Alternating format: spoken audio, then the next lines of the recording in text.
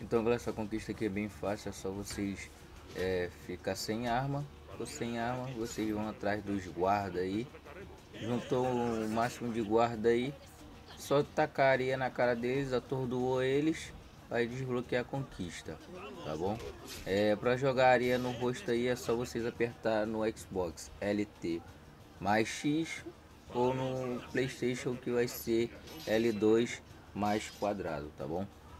Então galera, quem gostou do vídeo, deixa aquele like, quem for novo se inscreve no canal e ativa o sininho para receber notificação do vídeo. Fica no vídeo aí galera, valeu e fui!